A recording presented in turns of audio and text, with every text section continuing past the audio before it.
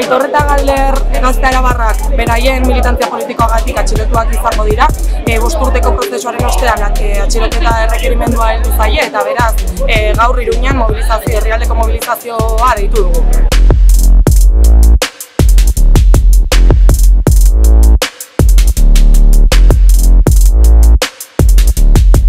Gaur herrialdeko manifestazio deitu dugu iruñean, e, Aitor eta Galderren espetxeratzea salatzera bidean, e, alik eta gehien, hauzia alik eta gehien sozializatzeko, eta bueno, e, era berean, ankerkeriari esto plataformatik deituko den e, manifestaziora e, parte hartzera gomidatu du jendea, larun bat otan gazteizen izango dena. Aitor eta galdek, azke, gure euskal gazteria!